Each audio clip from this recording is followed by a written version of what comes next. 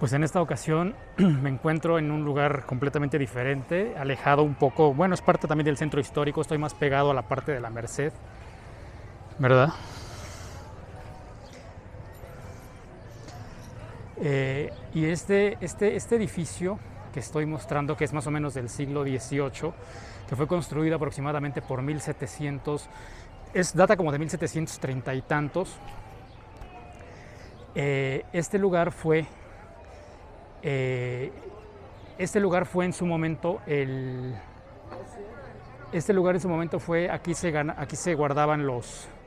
Fue el, el granero, la bodega de aquel entonces de la Ciudad de México, ¿verdad?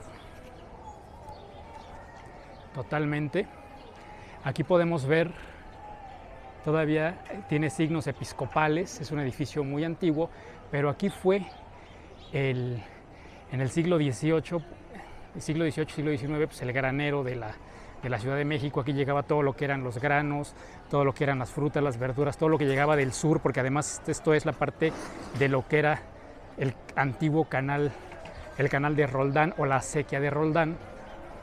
Entonces, pues podemos ver que es un edificio bastante, bastante viejo. Ahí tiene la placa también. Aquí se establecían los precios, los pesos, las medidas, las cantidades y las unidades, ¿no?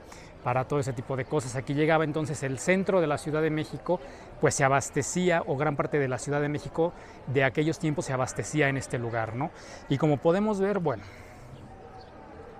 y de este lado está eh, una copia, porque esto ya no es el puente original, esto es, lo, lo hicieron a modo de, es una reconstrucción de la serie de puentes que había sobre esto, sobre la sequía de Roldán o embarcadero de Roldán, que era obviamente los canales que quedaban desde entonces, desde la época prehispánica hasta, hasta hace no mucho. ¿eh? Si ustedes ven, hay fotografías en blanco y negro de todavía donde se ve, por ejemplo, el canal de la Viga, que es muy parecido a, este lugar en cuanto a los puentes, que tenía los puentes y, toda esta parte del embarcadero, y aquí la parte de la sequía de Roldán igualmente, que venían desde, que todo esto venía desde el sur, todos esos canales, por eso abastecían aquí, este era el granero, y la, este era el granero y a cierto punto la aduana de la, de la Ciudad de México, de todas las cosas que venían que venían aquí para abastecer al centro de la Ciudad de México entre el siglo, más o menos en el siglo XVIII.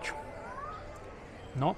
Obviamente pues ya prácticamente no queda, obviamente no queda nada ya de lo que era eh, el canal de Roldán, pero podemos imaginarnos que era en esta parte de aquí así, era la, esto era la sequía de Roldán, digamos, este pedazo aquí, en esta parte de aquí pues era la, la famosísima sequía y este es uno de los puentes de, una, de uno de muchísimos puentes que había, obviamente este ya no es el puente original, ¿no?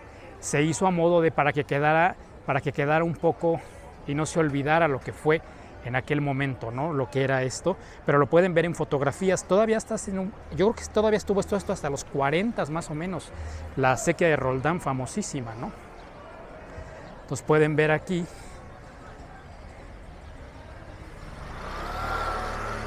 ¿No?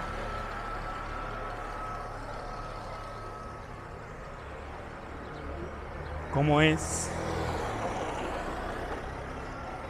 ¿Verdad?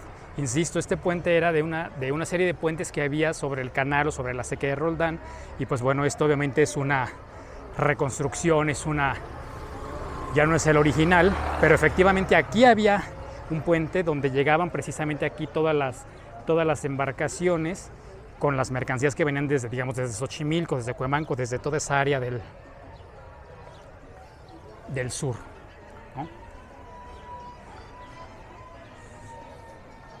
Entonces, pues la verdad es que es, es bastante interesante esta parte de aquí, muy histórica. Estoy pegado ya más a lo que es el barrio de la Merced y se tiene datos que desde el siglo II esto ya había asentamientos humanos desde entonces y bueno, sabemos toda la historia que tiene este lugar completamente, ¿no? Así es, entonces, pues bueno, pues ya les enseñé aquí un poco de la historia de la, de la plaza del, del edificio del diezmo llamado aquí, en el canal de Roldán.